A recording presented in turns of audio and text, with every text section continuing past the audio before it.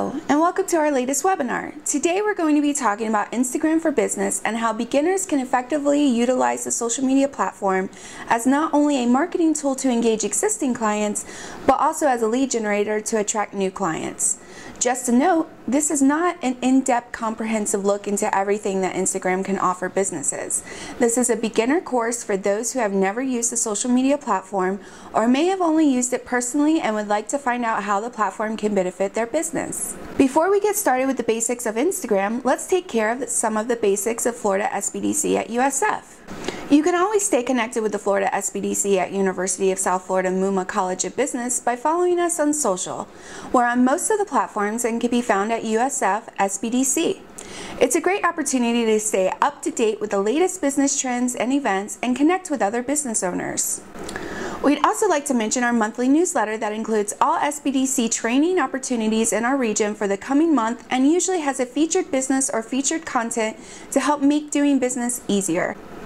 You can sign up for our newsletter by just going to sbdctampabay.com and clicking on sign up on the right side of the homepage or scroll down to the bottom of the homepage and click the subscribe button. For those of you who are not familiar with what we do at the Florida SBDC at USF, we offer low-cost training, no-cost consulting and market research, and information for small business owners as defined by the SBA. We are funded in part by the SBA, the state legislator, and various other economic development partners. We offer a wide range of consulting specialties which are identified on your screen now. At USF, we serve small businesses in the 10 county Tampa Bay region, all the way north to Hernando County and south to DeSoto and Highlands County, as you can see on the map here. I'll be your web presenter today. My name is Shaunda Wickham. I'm the marketing specialist with the Florida SBDC at USF, and I also do social media consulting for the center. We're going to begin, as all marketers should, with the why. Why should businesses use Instagram as a marketing tool? Over the past couple of years, Instagram has been experiencing a boom in a huge way. In fact, they have climbed to second place as the most popular platform right under Facebook. They have 1 billion monthly active users, 500 million daily active users, and it is the platform with the most engagement. As you can see here, there are many reasons why you shouldn't leave Instagram as an untapped resource. I'm not going to go over each of these, so if you want to take a screenshot, you can. I just really want to point out a few numbers that directly apply to businesses. For starters, there are 25 million businesses currently on Instagram. 200 million people visit at least one business profile each day. 80% of accounts follow a business on Instagram. 60% of users learn about new products through Instagram. And 48% of Instagram users said they've made a purchase due to a brand's video on the platform. So as you can see, there's a lot of potential for lead generation, conversion, and brand loyalty. Now that we understand the why, let's get started with creating a business account. You begin by creating an Instagram account as you normally would. When setting up your business account, you don't want to leave any area incomplete. Make sure that you include all of the following. A consistent name. When choosing your Instagram name, make sure it is consistent with all of your other social media channels, so that way you are easy to find. A quality photo that represents who you are as a company. Ideally, you want your logo displayed prominently. It should not be pixelated and should fit into the Instagram dimensions of 110 by 100 pixels without any of it being cropped out. Use target keywords in your bio. This can include location and industry-specific keywords. To attract more potential visitors, don't forget to include relevant hashtags as well. Make sure to add your website address. For bonus points, add a call to action to visit your website at the end of your bio. The website is displayed under your bio so it will seem intentional. Once all of this is filled out, then you need to activate your account as a business account. This is a really simple process.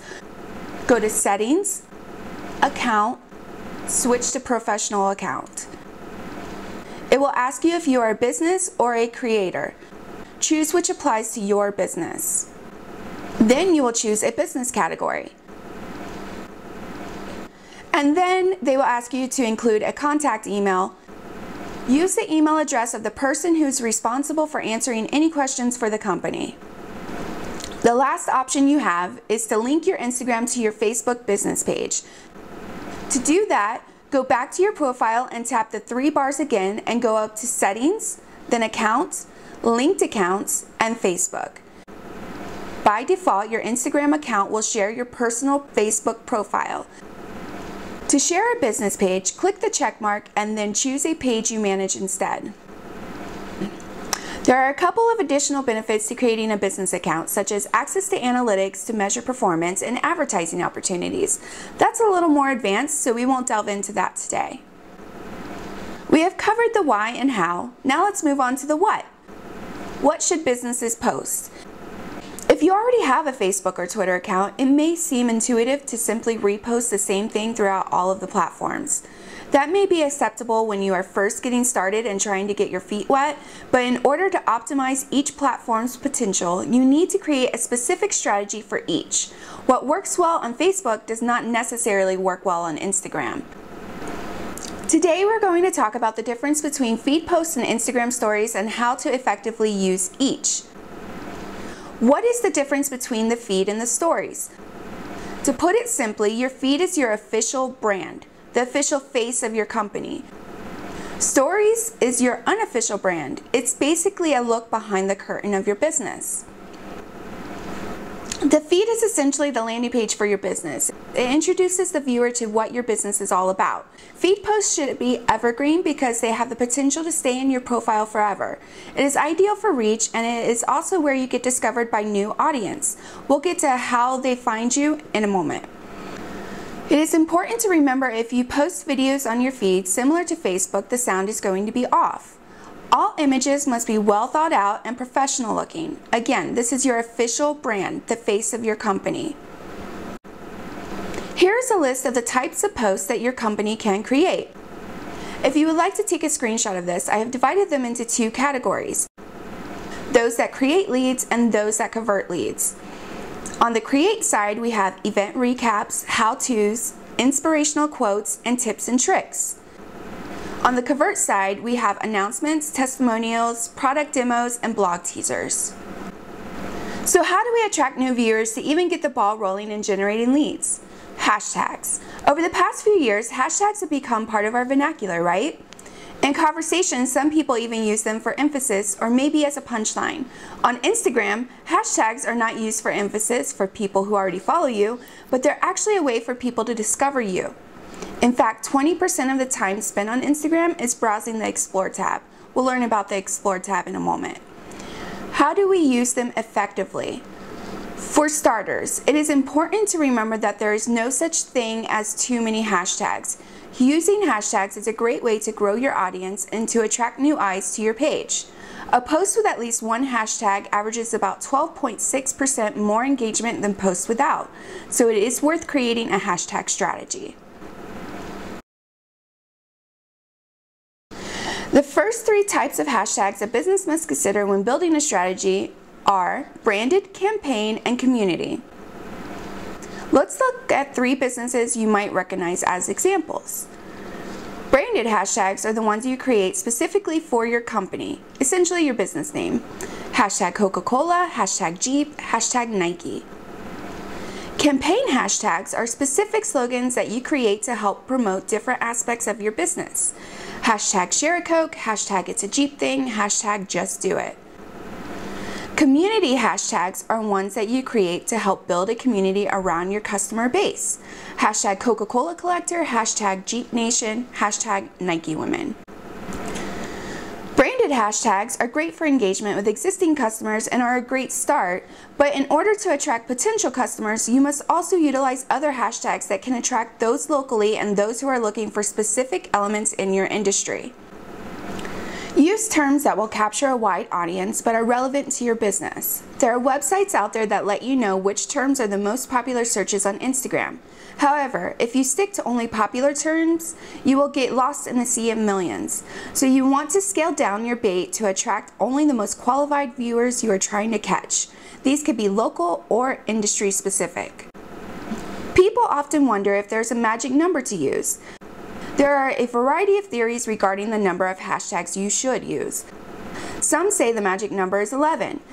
Some say in the low 20s, and some suggest using all 30.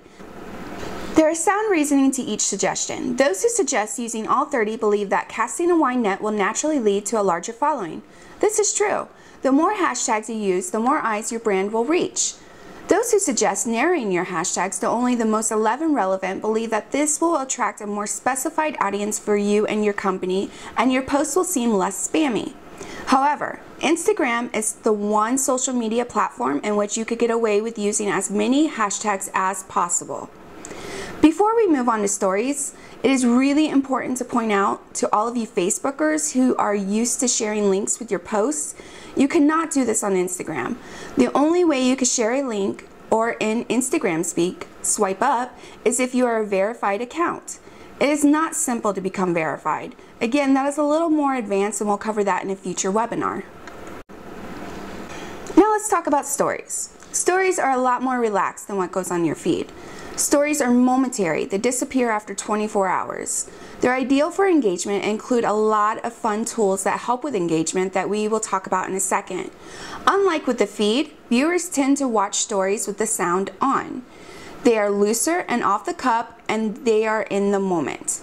Again, they're your unofficial brand. Viewers are just checking in on your company.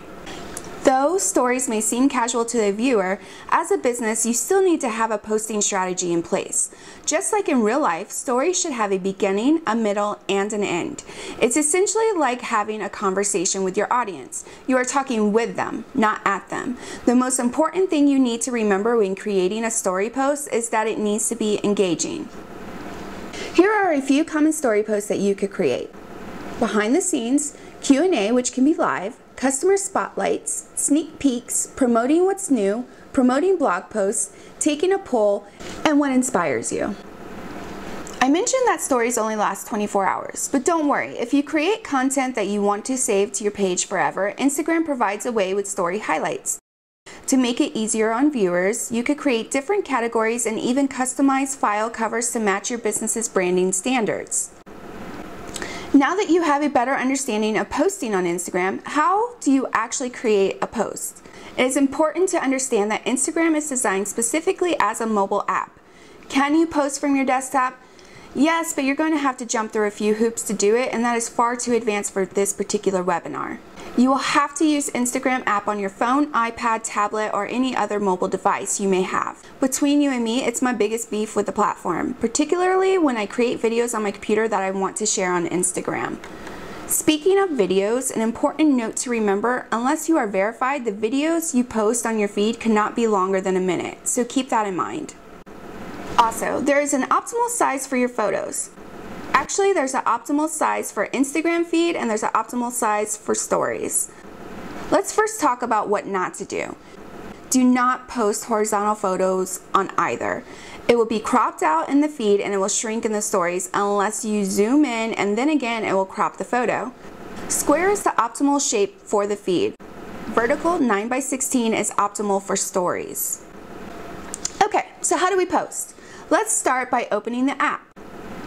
You will see a navigation bar at the bottom of your screen. Starting from left to right, let's talk about what each button does. The home icon. This home button will take you to your newsfeed where you can scroll down and find out what the accounts you follow are posting. The magnifying glass. This is the Explore tab and it features posts from users that you do not follow it also allows you to search for other users, hashtags, or posts that may interest you based on previous searches. We will get to the middle icon in a moment. The heart. This is where you will see all of your likes, comments, and follows. Make sure you respond to any comments and follow those who have followed you. This will help build relationships. Your profile photo. This is where you can view your feed, your story highlights, and edit your profile. Let's get back to the middle icon. Add a photo. This is how you create a post. You can add a photo or video from your gallery or snap a fresh one while posting. To post multiple photos, select the layered icon and your gallery will pop up again. This will allow you to choose up to 10 photos and they will display in the order you like. Once you have selected your photo, photos, or video, click Next in the top right corner. The next page will allow you to choose a preset filter or edit your image quality from scratch. Then click Next in the top right corner again. This is where you write your caption, tag people, and add a location. This is where you can also add it to other linked platforms simultaneously. Then click Share and you are finished.